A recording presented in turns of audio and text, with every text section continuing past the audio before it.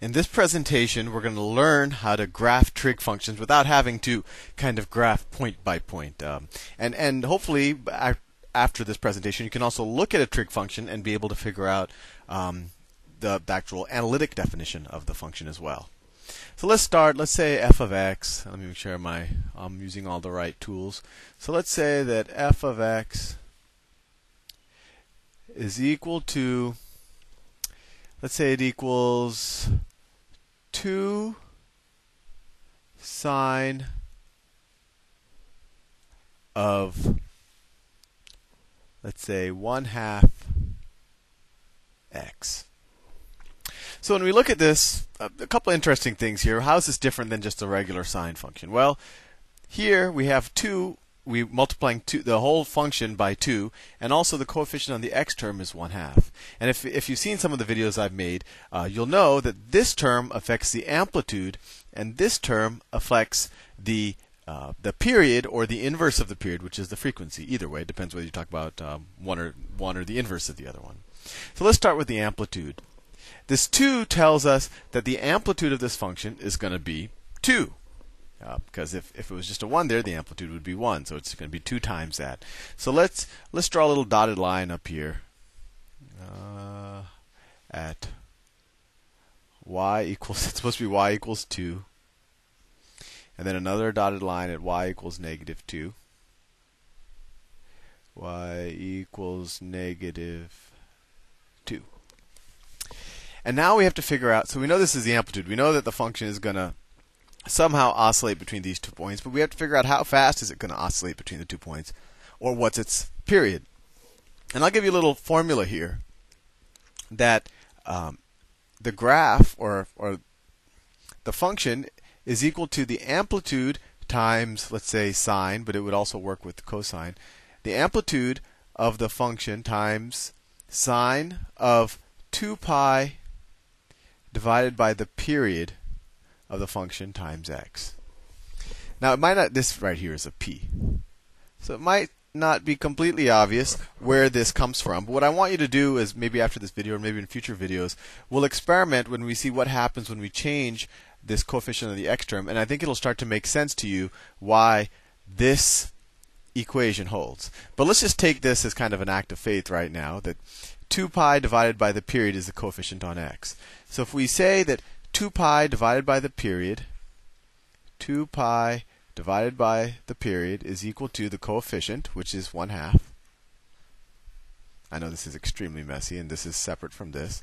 So 2 pi divided by the period is equal to 1 half. Or we could say 1 half the period is equal to 2 pi.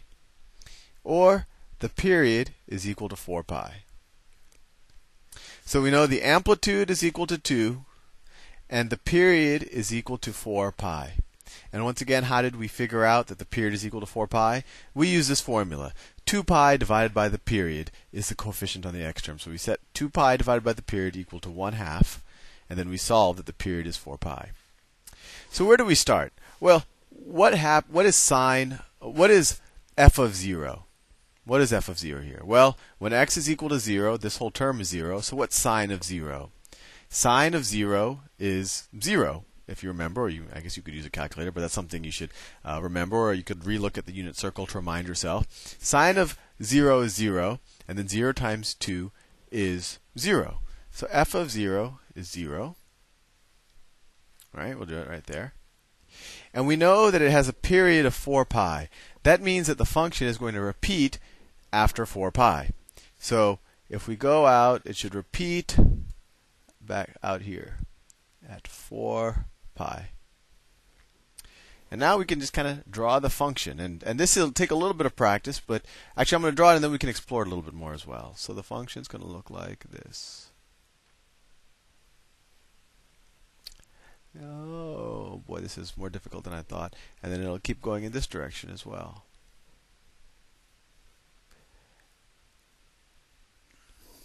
And notice the period here you could draw it from uh, you could do it from well you could do it from here to here this this distance is 4 pi that's how long it takes for the function to repeat or to go through one cycle or you could also if you want you could measure uh, this this distance to the to this distance. This would also be 4 pi.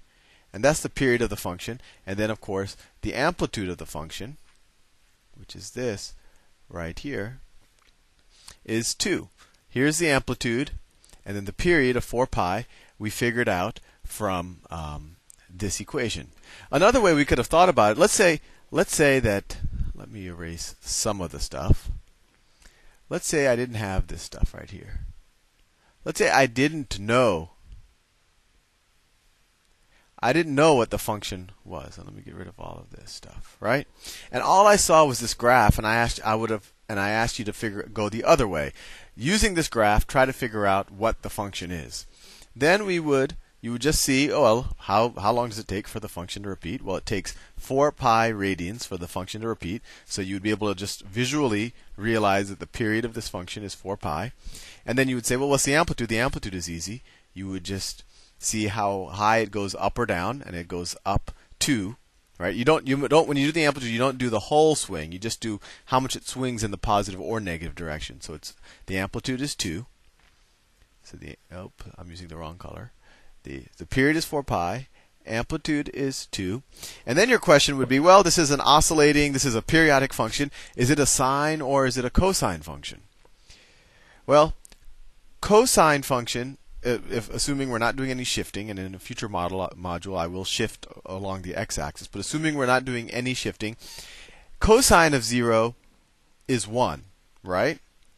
And sine of zero is zero. And what's this function at, at zero? Well, it's zero, right? So this is going to be a sine function. So we would use this formula here. f of x is equal to the amplitude times the sine of 2 pi divided by the period times x.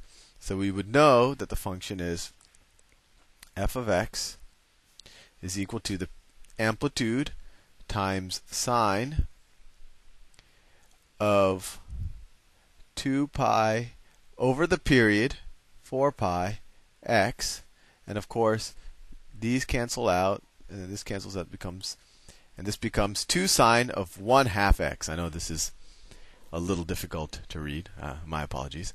And I'll ask you a question. What would this function look like? f of x equals 2 cosine of 1 half x. Well, it's going to look the same, at least, but we're going to start at a different point. Cosine, what's cosine of 0? When x is equal to 0, this whole term is equal to 0.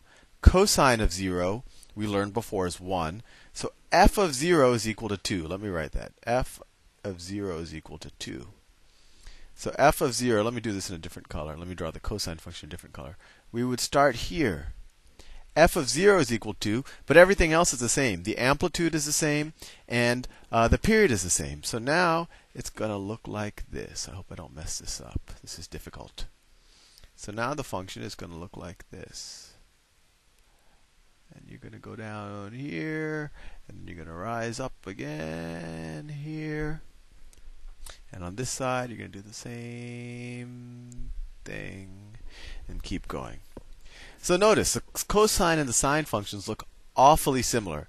And the and the way to differentiate them is what they do well what they do in general but wh- where they the easiest way is uh, what happens when um, you, you input a zero into the function? What happens at the y-axis, or when x is equal to zero, or when the, the angle that you input into it is equal to zero? Unless we're doing shifting, and, and don't worry about shifting for now, I'll do that in the future modules. Sine of zero is zero, while cos- cosine of zero would be one, and since we're multiplying it times this factor right here, times this number right here, it, the one becomes a two. And so this is the graph of cosine of x. This is the graph of sine of x. And just as a little bit of a preview for shifting, notice that the pink graph, or cosine of x, is very similar to the green graph, and it's just shifted. It's just shifted this way by, well, in this case, it's shifted by pi, right? And this actually has something to do with the period or the coefficient. In general, cosine of x is actually sine of x shifted to the left by by uh, pi over 2, but I don't want to confuse you too much. That's all the time I have for this video. I will now do another video with a couple of more examples like this.